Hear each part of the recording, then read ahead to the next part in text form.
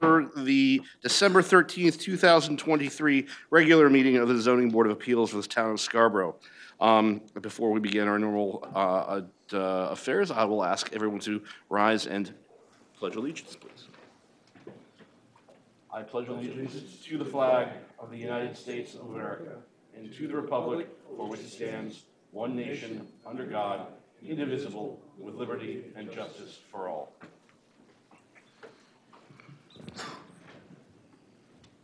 And I go through these, and find them and do them real quickly, because it is what it is. Um, Welcome to today, tonight's meeting. The public, this is a public proceeding, and unless the board specifically votes to go into executive session, the public has the right to hear everything that's being said and to view all the exhibits that are being presented. Please notify the chairperson if you are unable to see or hear the proceedings. The board works from a prepared agenda and will take up tonight's items in the order as listed, with one exception. I'll bring that up in a moment. Um, the, in each instance on the appeals, the burden is on the applicant to determine the compliance with each of the criteria or provisions of the applicable appeal. The board will ask questions as necessary to understand the nature of the appeal as fully as possible. When the, all testimony has been heard, the chairman will close the record and the board will adopt findings of fact for each criterion of the appeal and vote to determine if the applicant has met the burden of proof necessary to meet that criterion. It is important to note that if any of the appeal or special exception criteria have not been met, the board must deny or appeal the appeal or application. The other thing we'll say is, keep in mind that um, all of our judgments are on findings of fact. They're not on our personal views or judgments with regard to uh, the, the, um, uh, the variance being called for, the neighborhood situations, et cetera. We are simply finding, um, finding facts to either approve or deny a written appeal. Um, the one thing I would like to switch around here is just, uh, we have, um, an, uh, uh, um, well, before I get to this, could we call the roll? Christine Snow, Here. David Bort, Here. Peter Freilinger, Here. Kyle Noonan, Here. Joe Doherty, Here. and Richard Silkman. Here. In our uh, order of agenda, we have uh, item seven, election of officers. Um, I had a discussion with the town's clerk's office today. We have a couple of members whose terms are expiring um, at the end of this meeting. Um, And the town council, I- the nomination and uh, appointments committee will be meeting in um, early to mid-January to decide on those. So rather than vote on a chair and vice chair at this meeting, um, it's been recommended to the chairs of the various town committees that we defer such votes to the February meetings. So just wanted to let folks know that, and with that, we will not, um, we will not have an item five for, the- for this agenda, or item seven, excuse me, uh, uh, item- item seven. And I would add, just add to that, that in the bylaws, it's, it's written that you serve until you're replaced. So even if your term's expiring, you're, you're still on the board until you're either replaced or reappointed. So if the, if the appointments committee does not meet, you're stuck here, is I think what, what Brian was trying to say. Um, With that, uh, we have the or, uh, the minutes of the November 8th meeting. Um, Has everybody had a chance to review, and are there any comments or questions? Seeing none, do I have a motion to approve? So moved. Thank you, Mr. Bork. Do I have a second? Thank you, Christine. Uh, Any objections? If not, a quick show of hands, do we approve the minutes of the November 8th meeting? That is unanimous with one abstention. I'm just going to abstain, I missed the meeting. Understood, of course, not a problem. So that uh, is so moved. We then move on to the approval of the draft written decisions heard at that meeting, which is, we'll start with uh, appeal number 2755, the limit of uh, reduction of Mr. yard Chair, size. Yeah. With one absentee, does that mean that Kyle is a voting member this time? I think we have five voting members, don't we? Or one, two, three, Four. four? Yeah, we are short. We have two alternates. So yes, that is correct. We would bump up one. So, um, so, so with, with Michelle not here, Kyle, yes, you would be our, Kyle's our first alternate, right? So you would be our voting member tonight. Um, and, uh, thank you, Richard. Appreciate that. Um, So again, back to the approval of the draft written decisions. Appeal number 2755, limited reduction of yard side, size residential appeal by Sharon McBeath and uh, Laurel- Laura Connolly at 6 Bay Street. Did everyone have a chance to read those? They seem to meet what we had agreed to for findings of fact. Um, So I'd ask for, I Richard? move that we accept the order. Thank you, Richard. If- um, In a second? David, thank you very much. So uh, again, we'll just do a quick show of hands here. Are there, uh, do we uh, um, approve the, um, the, f- uh, the, uh, the draft written appeal? Unanimous, thank you very much.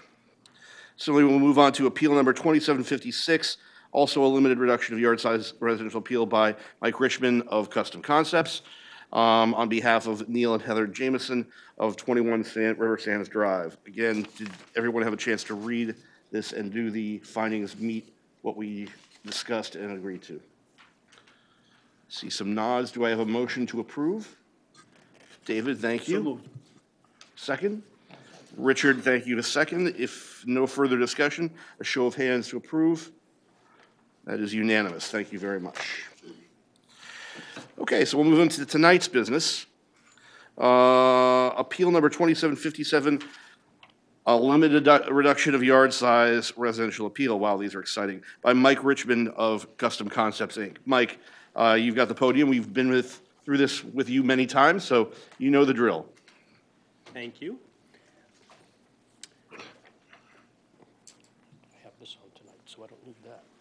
Uh, Good evening, Mike Richmond, uh, Custom Concepts Architecture. I'm here on behalf of my clients tonight, um, Arthur and Donna Foss of 8 Pillsbury Drive.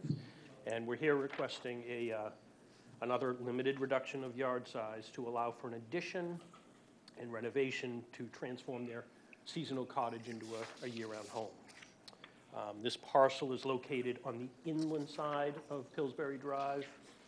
Uh, Contains a cottage, um, some really large exterior decks, um, upper and lower, uh, paved driveway, and it's pretty flat. The overall goal is to transform this cottage into a year-round home by constructing an addition off the, what I'll call the left-hand side, to accommodate an entry, a stairway, and a single-car garage, as well as a vertical expansion directly above the existing cottage um, for living space. As I always try, I worked hard to try to avoid the need for this request, but here I am. Um, But we found ourselves in this situation because we really want to maintain the existing foundation. It's in great shape. As much of the existing frame as possible, other than the roof, to make room for this, for the expansion. Um, And there's a large front deck, so we, we don't want to waste things that we don't need to waste. So that's the effort that, that led us into these log jams of my visit tonight. So with this design, I need some graphics here. There's basically three different areas, albeit small, but three different areas um, that we would ask for some relief. A portion of the garage bay, here's the floor plan, right here. If you look at an elevation from the road, it'd be the sliver right here. A portion of the new story, I'm calling it, which is basically second story only towards the road, highlighted here. If you looked at it from the front, I'm sorry, from one of the sides, the existing houses here, just in this section, upper part directly. And there's a few bottom steps, I'm getting picky, but um, there's an existing stairway here now. The, the idea is to literally take that off, reattach it.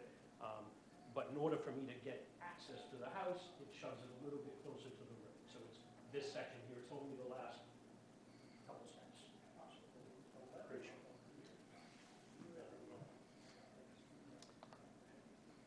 Even with these, all three of these items, I, I do feel after a lot of effort that this design is the most practical approach um, to achieve the minimal goals of the project while having a, a minimal impact on the neighborhood.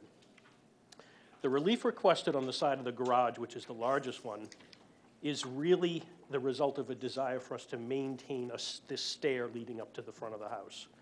Um, Doing that, in a way, sort of forces the entry over uh, just a little bit, forces the new garage over just a little bit. In an effort to even minimize coming over any further, we're even angling the door and, and some tricks to try to make that center area as narrow as possible. So we, we're- we're not coming out as far as the potential five feet would allow us. We also are purposely trying to place a roof deck on top of this piece to minimize the height, rather than, you know, if we pulled this story over it or had some other steep roof, it would even be more impactful. So that's a purposeful move to try to keep, to try to minimize that. We also looked at several options to avoid the need for the relief on the front of the building, this upper section. But our attempts led to really odd-shaped designs with this um, that we just couldn't rationalize. We, we- we tried um, a couple hip roofs, a couple different tools of the trade, so to speak, um, but nothing really could make it as simple as the, you know, the cottage style. So we tried and tried, and again, coming to you for your relief there. And the relief requested for the bottom of the stairs is simply allow us to reattach and reconnect the existing stair, um, so we don't have to throw it away. Um, So essentially, that is the, that is the request, and I'm here to answer any questions you may have. Questions from the board? Mr. Chair? Richard? The stairway, as I understand it, extends further out, but it, than it does currently, but it doesn't extend beyond the existing front deck, is that correct? So currently, currently, there's the, where the the stairs stop. No? The deck is way out here. We would, we would need to push it out here, but it's still not even as close to the room as the deck is. Mm-hmm. If I answered that right. Yes, yeah. And the roof line that you're talking about, that's a- above an existing roof. We're not extending it any, the building itself isn't extending any further to the road than the existing building extends. Correct, and in fact, glad you brought this up, thank you. The new, the existing roof has a big overhang, just the way they were built. Our new roof actually pulls back further away from the road by six inches. And, and I guess part of that, that's the, the existing foundation effectively has got whatever, two feet or whatever uh, of a, of a bump into the front setback already. So that's a, a found, the Correct. foundation That's is there, the yeah, Existing condition. yeah, okay. So those two seem straightforward. Could you talk a little bit more about the garage? Because when I was looking at the drawing, it didn't seem like it was necessary to extend the garage into that 15-foot setback, that there was enough room available inside the building to accommodate what you would normally have to have. I figured there must be a reason for you doing it, but I, I, it wasn't obvious to me, looking at the diagram, why it was necessary. Yeah, no, a, a great question. Anything's possible, but in order for us to get the, the stairway connection, you can see how, how big the, I mean, stairways are just large. To meet code, they're large. We would be chewing up such a substantial amount of the, of the finished square footage inside. It wasn't, it was in the frame, which is existing, the existing frame. Um, That's the reason we said, well, no, we can leave the floor system intact and push this thing outside. There's an existing stair in there now that's nowhere near the floor. And it looks like the stairway that's really necessary is the one that allows access to the basement. It- Yeah, it goes, actually basement all the way up to the top floor. No, but it, it, it- it feels like the, the, the, the stairway up top, maybe you could try some things with, but in order to make the access to the basement really usable, you, you need to have that space to do a turnaround in, in, in, in the lower area and, and that. It it was the, it was the best way we could find. Yeah, okay. Mm. And it will just be a garage slab? It's not, there's not a basement that extends that, okay, Slab, slab on roof.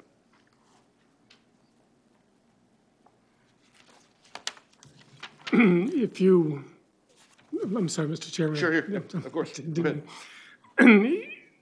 if you were to rearrange the inside a little bit, there's, there's room on the back and the deck for additional building area. What, do you know what it would have cost to do that cosmetically inside? If you had to do that, I'm just wondering what that, what the value of that might have been. Yeah, that, that's a very good question. In other words, if we, if we were to build backwards for more living space and allow the space in for here. To be used as the stairway and, Yeah, hard, hard for me to put a number on.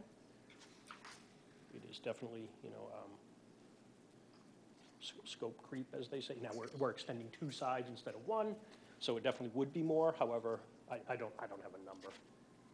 It would definitely be more, but I don't have a number. but, I mean, and you're extending the back, I mean, that's all new anyway. That whole back is gonna be new anyway.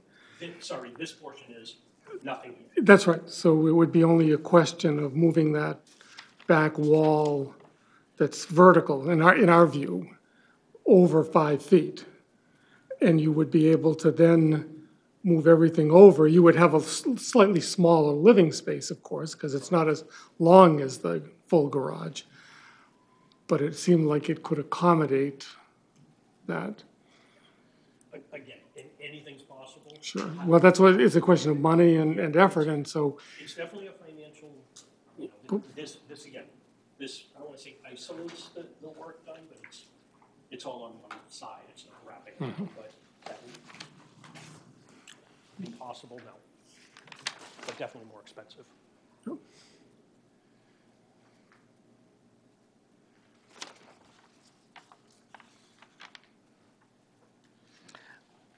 A question about the existing basement versus the, the existing basement plus new basement. I was confused by the diagram. Okay? Um, what is being poured for new basement? It, it looks like, I, don't know, there, there's an outline of, there are spaces which I think are just the finished walls of the existing basement. And then there's a line outside of that, which I'm guessing is the actual, um, uh, the concrete of the, the, the, the foundation. Are you look, are you looking at this sketch right here? I'm, I'm, I'm, right now, I'm looking at the old one, the, the, the original one. Um, and I'm trying to map that onto that diagram. So you're, you're right, I'm, I'm, I'm looking at kind of them from one to, old to new, Gotcha. so, yeah. Well, I guess to answer your question, the, the full basement is here now, it's all finished, Mm-hmm. finished space. The idea would be, here's the new basement space to get the stairway down for access. This would just be the slab, um, up on the grade. Gotcha, okay. And so the, the, the, the new foundation is really just that trapezoid there? Correct, Yeah, okay, got it, correct. Yeah. Got it, okay. Technically, it's a foundation, but only a frost wall. got it, okay. Okay. Okay. Any other questions? David? All right. Uh, What is the proposed um, width of the new garage?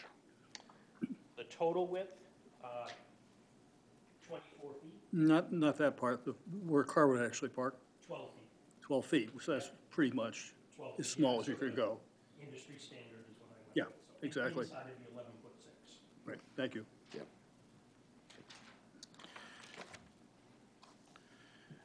Any other questions from folks? Okay, Just um, one question.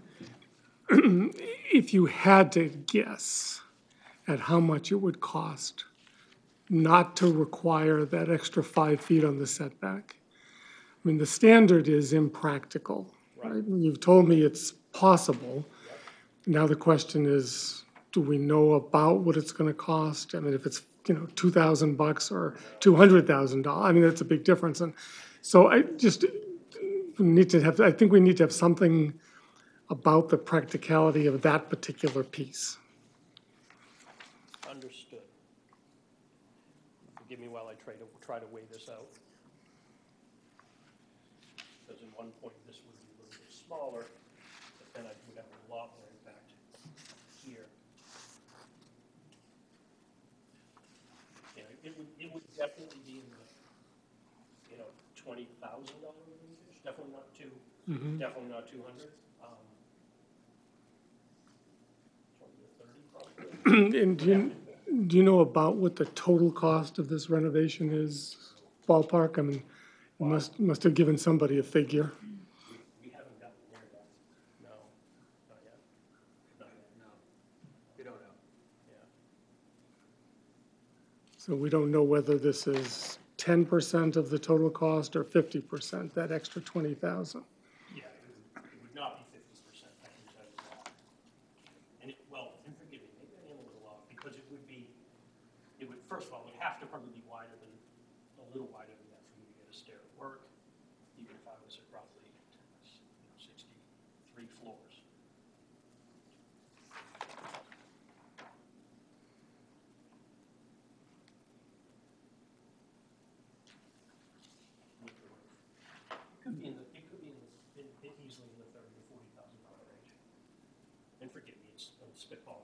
Spitballing here, but it could be, it's three levels of finished base, plus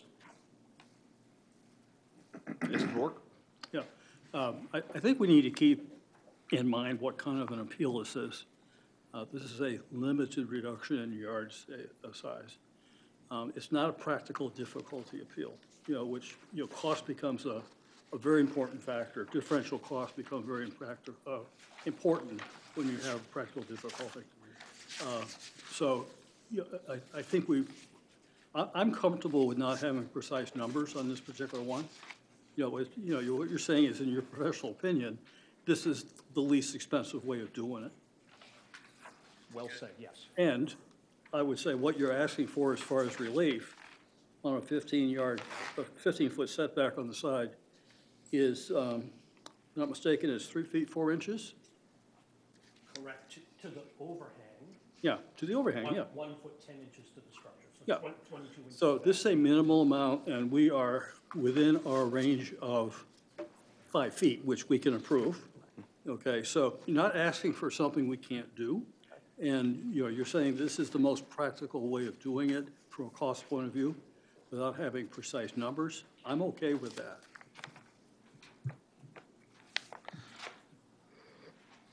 I had a quick question about just the percentage of the lot size that is now going to be covered by the structure post this. It it wasn't listed in the, in the- I didn't see it listed in the documents, but I'm, I'm assuming that you're still within the allowable envelope? Thank you, yes.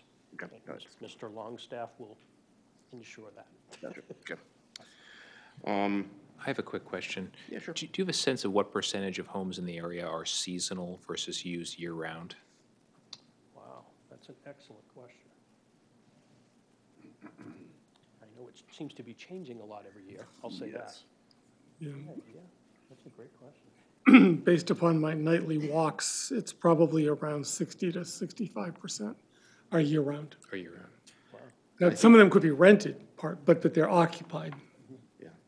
And, and, and certainly living down kind of in that area of town as well, the proportion of homes that are winterized and full-time usable has been increasing steadily over time as well. So, um, even if they're not, even if the owners may only occupy them seasonally, they are occupiable and often occupied by rentals for longer piece, stre- longer stretches of the year. Okay, thank you. Those of us that live inland don't, uh, we don't get down to that part of town as much. so- You should make the efforts. It's quite nice, actually. Um, okay, were there any, um, any other comments from the, from, from Mike or you or the owners? Okay. Any public comments? Uh, I believe, I, I am, um, before we, um, have him review the, the, So we did. We did have uh, an email um, that was sent in by uh, Ronald Galvin. Um, And I do not, I failed to write his address, but he's a neighbor. Um, And he says, "Hi, Mike, we hope you are doing well and had a great Thanksgiving. We met with Donna and Artie and loved the plans that you came up with for their renovation. I just wanted to send a quick email to let you know that we have no issues with the size, height, or proximity to our property line." So they must be the adjacent property gotcha, okay. Uh, We hope that they are able to get any approvals that they need. Thanks, Ron and Katie Govin. I'm sorry, yeah, oh, no. His, his uh, signature line is in Illinois. Right, so there we go, okay. Okay, so, um, Mike, you've been through this before. We'll ask you to kind of run through the, um, the, uh, criteria, uh, um, and, uh, how you've addressed those criteria in the application. So if you're ready to do that, let me know. Gotcha. We'll start with number one, the existing building or structures in the lot for which the limited reduction of yard size, re- uh, or size is requested were erected prior to July third, nineteen ninety-one, or the lot is vacant, non-conforming lot of record. Yes, according to town records, the home was constructed in 1962. The requested reduction is reasonably necessary to permit the owner or occupant of the property to use and enjoy the property in essentially the same manner as other similar properties are utilized in the zoning district. Yes, currently the cottage is a, is a full two-story seasonal structure. This relief would allow the Foss family to have three floors of living space as well as a single-car garage, um, similar to other properties. In fact, many other properties have multi-car garages and are much taller than this proposed structure. This relief would allow the Foss family to use and enjoy their property similar to other properties in the zoning district. And like, remind me, which zoning district is this in? This is in one of the Pine Point districts, isn't it? It is in the R2 district. It's just an R2. Okay, got it. Thank you, sorry. Uh, okay, so, uh, number three, due to the physical features of the lot and/or the location of existing structures on the lot, it would not be practical co- to construct the proposed expansion, enlargement, or new structure in conformance with the currently applicable yard size requirements. No, despite our efforts, this is the most practical, practical approach we could find. We tried many approaches to minimize the garage and entry area while maintaining the stair leading up to the front deck, including placing that front wall with the main door at an angle just to save space, and keeping the width of the garage at a sort of an industry standard twelve feet. We also tried several designs to avoid the request for the small section of the new roof that is within the front setback. But our attempts created an odd jog in the roof that we simply could not blend in character with the home or with other no- homes in the neighborhood. The need for the relief for the stair is to allow us to provide access similar to what exists today, right up to the front of the home safely. Got it. Uh, The impact, number four, the impacts and effects of the enlargement, expansion, or new building or structure on existing uses in the neighborhood will not be substantially different from or greater than the impacts and effects of a building or structure which conforms to the yard size requirements. No, I, I don't think it will. Uh, Many of the similar properties in the immediate area are of similar scale or are much larger than the proposed design. Um, A lot of them have garages, much larger garages and decks. And uh, number five, the applicant has not commenced construction of the enlargement, expansion, or building or structure, and so that we are not considering an after-the-fact application. No, they have not. And Brian, you can You better not have. There we go. Okay. Um, If there's no further discussion, I'll close public comment and we will enter into our deliberations. Public comment is closed, or public deliberation is closed. Um, Any general comments before we begin?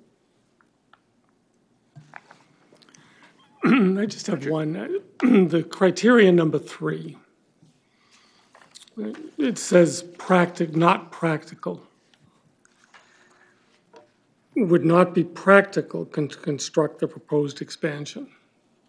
And it doesn't say, that, I mean, that's, that's the word. Now, David seemed to have a different interpretation of what not be practical meant. And I'm wondering if there's any clarity that we could provide around that term.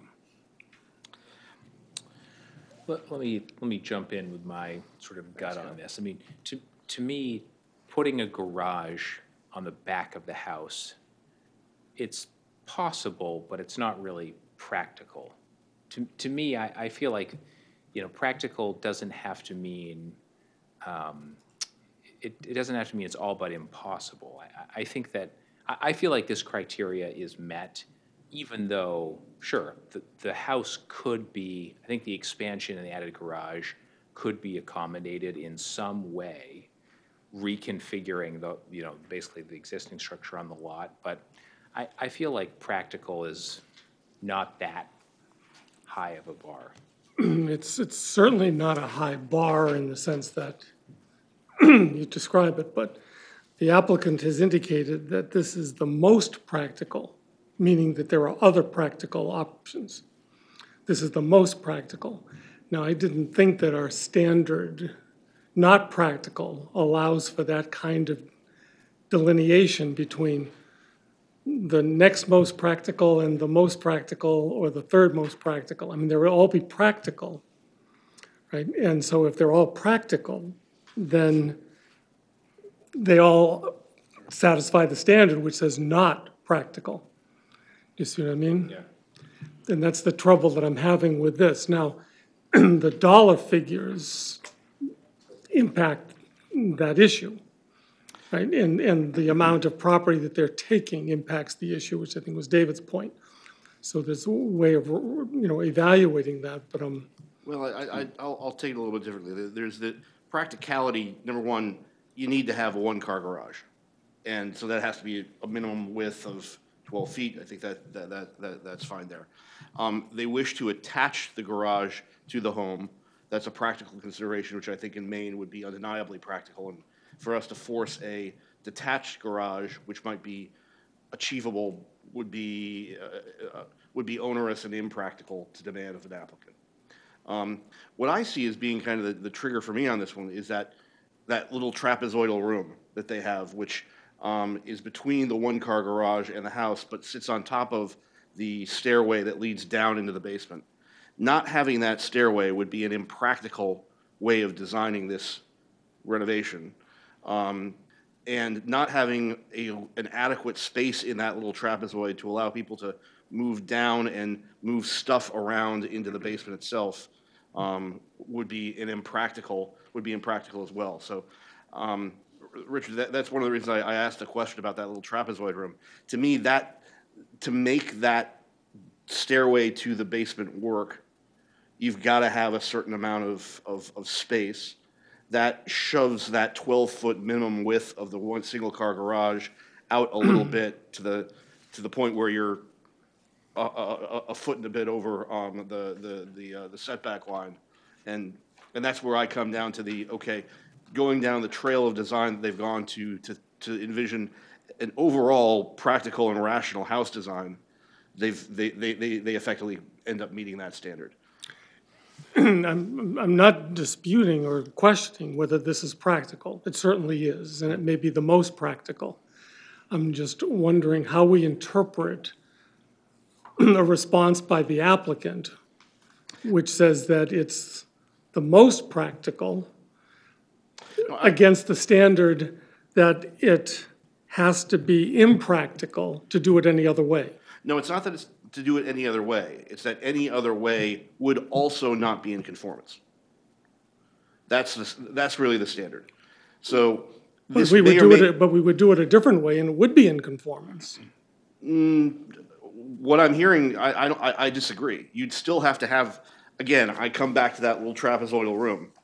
Otherwise, you're shoving the, the, the, the, the garage into the back No, no, no, no, no, you're, all you're doing is you're reconfiguring the existing interior stairway. You're moving that over. No, I don't think you're, you're, al- you're also putting it outside. No, no, no, then it's let- all indoors. Then, then if I could ask the applicant then to, to, to re-explain that one, because where you were showing where that other potential stairway would go would be outside the existing foundation wall.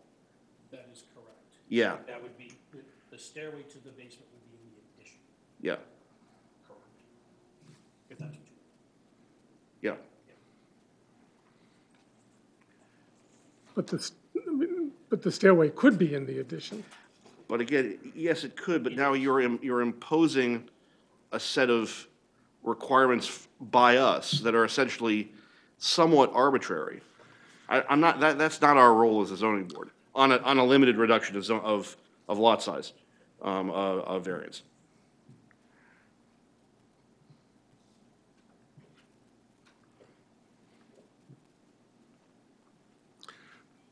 Brian, do you have any guidance on this one? Nope. It's your decision. It's your, it's your deliberation. Yep. You have your opinion. There are other opinions. You vote your conscience, they'll vote theirs. You're not here to redesign the project. If you don't think they met the standard, vote that way. That's, I'm not, I'm not going to weigh in on this. This is your deliberation. That, Thank you for the explanation, Brian, we appreciate that. That's how I stay at court.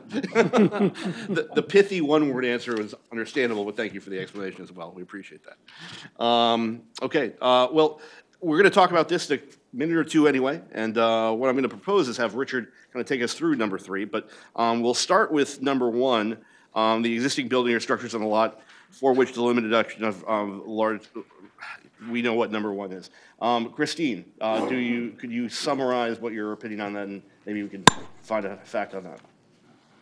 The assessor's records show that the house was built in 1962, which is before 1991. There we go. And that's, all the records all indicate that, no, no question there. Okay, so, um, uh, agree of finding a fact that the town, other the house was constructed in nineteen sixty-two, and therefore this is met. Um, all those in favor? Unanimous, thank you very much. Number two, David, The requested reduction is uh, reasonably necessary to permit the owner or occupant of the property uh, to use and enjoy the property in essentially the same manner or similar properties uh, are utilized in the zoning district. Uh, In answer to that, I would say that uh, there are many other properties that have attached garages as well as roof decks, top decks. any other comments from folks? The only other, uh, only other observation I'll make on this is that the houses in the neighborhood are generally getting additional house, um, stories and things like that. They are expanding in size. So this is very much in the same manner as many other properties, um, are enjoying in this, um, in this part of town, and in this zoning district. So, um, do we agree to that finding of fact? All those in favor? That is unanimous. Richard, please take us through number three. due to the physical features of the lot and/or the location of existing structures on the lot, it would not be practical to construct the proposed expansion, enlargement, or new structure in conformance with the currently applicable yard size requirements. Um, This is a little bit problematic.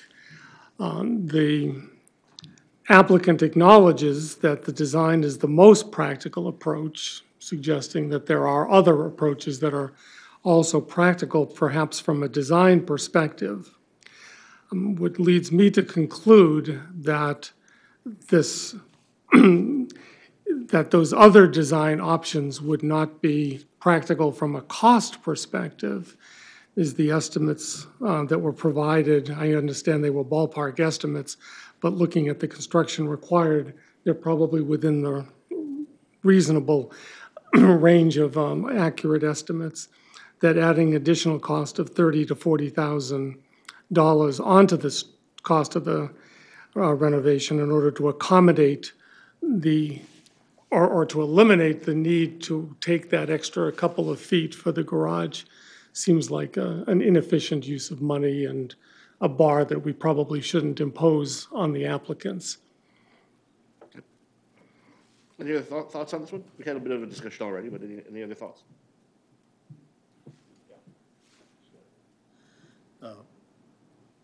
I think by doing it this way, it's, they're creating a, uh, a structure that's much more compatible with design features and of other homes in that neighborhood. And I think that's an important consideration. Um, Yes, as you've pointed out, Mr. Chair, there's been a lot of homes that have been uh, added on to redesign, uh, made, you know, instead of seasonal, year-round now. Um, So this really falls into that whole general category of what other homes have become. And, you know, the design of the home certainly fits into that a lot better than any of the other, you know, uh, you know, the features or ways of doing it, you know, may have yielded. Uh, I don't think they would have been as attractive at all. So having a garage in the back, for example, uh, or as you pointed out, the, you know, the stairway configuration. So this, this really makes the most sense to me from an aesthetics point of view. Let me just add, it. maybe I'm a simple thinker. I mean, to me, the proposed expansion, enlargement, or new structure includes a garage. It, due to the location of the existing structures on the lot, the options are to either put a garage where it's proposed to be located or in the back. I don't think putting a garage in the back is really practical. So I think that this criteria is met. Joe, what do you think? Any- Anything to add? Yeah, just um, a question for Brian. The current property, the lot coverage is what? Do we know? What the approximate lot coverage? It's way under? It's way under the Okay. twenty percent lot coverage Okay, um, in, in this, this addition. I did the figures, but I didn't put it in the, in the thing. And, and that's another thing that we'll be looking at when the building permit comes, so okay, it's not really a consideration of the board at this Okay. point. That's a building gotcha. permit review issue, but I did check to make sure it made sense. okay. I, I, I think, I'm inclined to, um, to, to, to agree with, uh, Mr. Bork on this one. Th- th- This is, um, I- I don't, I, I worry, and, and maybe, um, for the, for the benefit of the applicants and future applicants, using the phrase "most practical" might, might not be helpful for us as a board, um, in, in, in our understanding of, of the deliberations here. Um, This is clearly practical um, both from a design perspective, from an interior design perspective, from a spatial movement perspective internally, um, and to the extent that this is the proposed and desired design of the owners from an exterior and interior perspective, then this is, without question, a practical design. Um, I think for us to get down the, the, for, for this kind of a variance, for us to get down the road of most practical, least practical, or whatever, may be unhelpful for us. Um, so, uh, but clearly this is practical, and again, I, and, and, and I think the other thing to, to clarify on this one too is this is clearly a question about the, the garage slab that moves over onto the, the side variance. I don't think we have an issue with the building up from the front or the minor extension of the stairway. I don't, I don't think those are in any way, are in any way questionable on these. But, um, I, I, I- on that basis of, is this a design that is within the, um, the, the, the standards of the neighborhood that allows the owners to enjoy a home that fits the character of what Pine Point has become?